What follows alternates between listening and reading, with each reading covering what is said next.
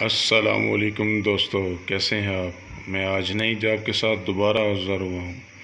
یہ جاب ہے Pakistan ordnance factory P F jobs ستمبر دو ہزار بیس۔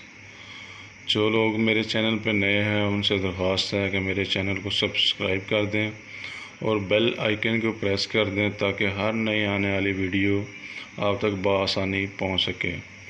چلیں، چلتے ہیں ویڈیو کی جانب۔ دیکھتے ہیں کہ اب ونڈ اسکرین پہ کیا آ رہا ہے اس کے انٹروڈکشن جاب اینڈ آرگنائزیشن یہ آرگنائزیشن ہے پاکستان آرڈیننس فیکٹری انہوں نے آج ہی جاب اناؤنس کی اور اس کی آخری تاریخ ہے اکیس ستمبر دو ہزار بیس. اس جاب کی ڈیٹیل بھی نیچے آ گئی ہے، وہ آپ دیکھ سکتے ہیں. سب سے پہلے ہے لیب ٹیکنیشین اس کے لیے جو ایجوکیشن مانگی ہے، وہ B S C chemistry physics bio اور اس کے علاوہ assistant coordinator B A, B S C, اس کے بعد ہے female receptionist B A, B S C, اس کے لیے بھی مانگا ہوا ہے کمپیوٹر کا تھوڑا بہت علم ہو۔ Office assistant and clerk, F F S C مانگی ہوئی ہے، کمپیوٹر کا تھوڑا بہت knowledge who store keeper for chemical lab, F S C pre engineering and medical. Store keeper ہے، ایف ایف ایس سی بھی اس کے بعد اس کا تھوڑا بہت کے ریلیٹڈ ایکسپیرینس ہو۔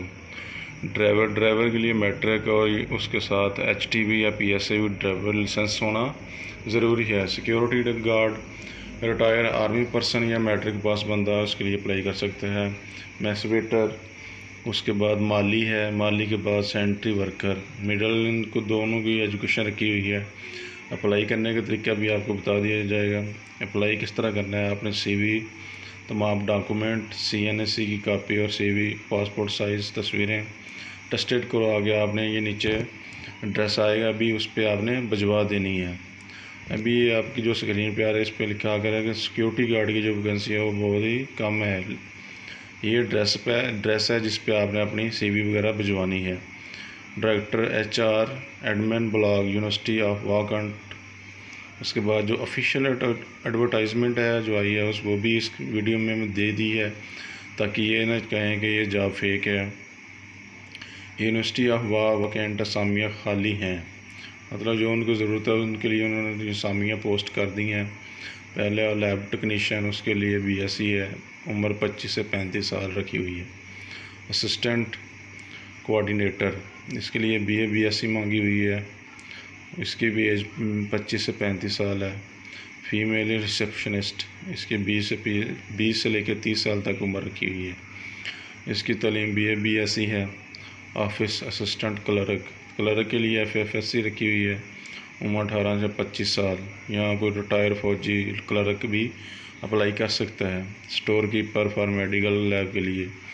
اس کے بعد ہے اسٹور کیپر اٹھارہ سے پچیس سال عمر اس کے لیے رکھی ہوئی ہے ڈرائیور ڈرائیور کے اڑتالیس سال تک اور آرمی سے ریٹائر بندہ بھی اس کے لیے اپلائی کر سکتا ہے۔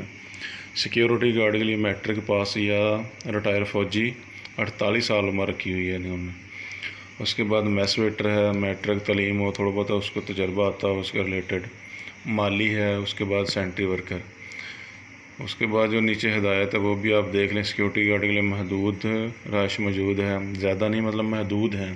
اور اس کی آخری تاریخ ہے اکیس سپتمبر دو ہزار بیس۔